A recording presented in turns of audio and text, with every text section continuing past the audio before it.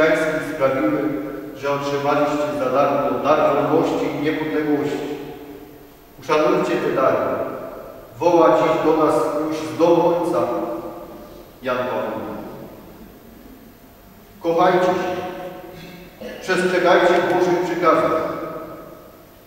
Żyjcie mądrze i uczciwie. Chrońcie niewinne życie ludzkie.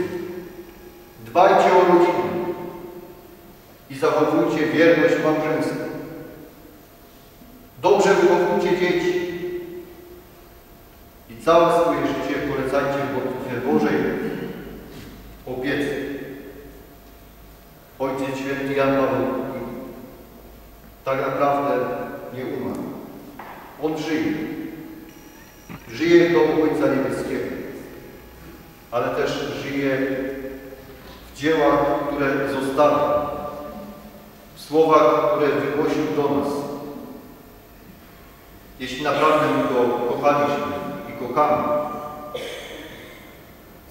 zachowajmy w sercach i rozważajmy te darowane nam skarby. Żyjmy według wskazań, które nam zostały.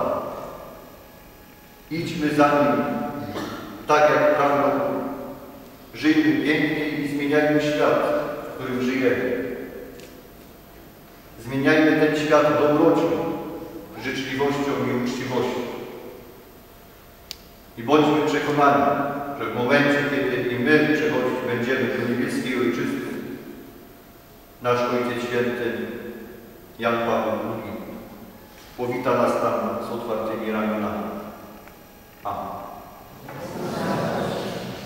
Wyznajmy naszą wiarę. Wierzę w jednego Boga,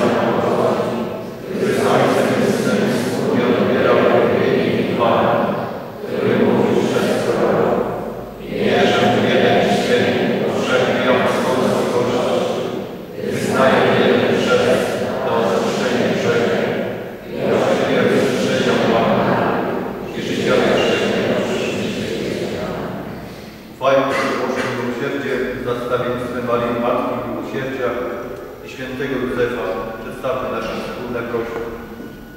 Spraw Panie, aby pasterze Kościoła przez słowa i czyny wytrwale głosili całemu światu prawdę o Twoim miłosierdziu. Ciebie prosimy.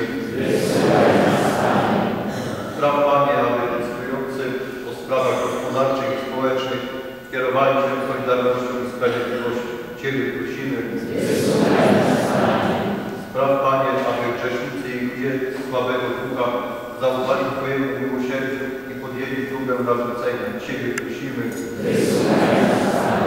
Spraw Panie, aby niewierzący i wątpiący przełamali swój lęk i zbliżyli się otwartym sercem do Ciebie.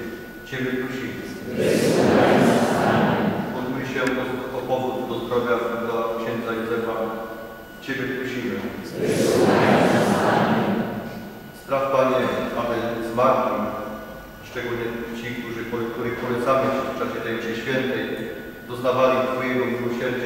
wiecznego szczęścia Ciebie prosimy.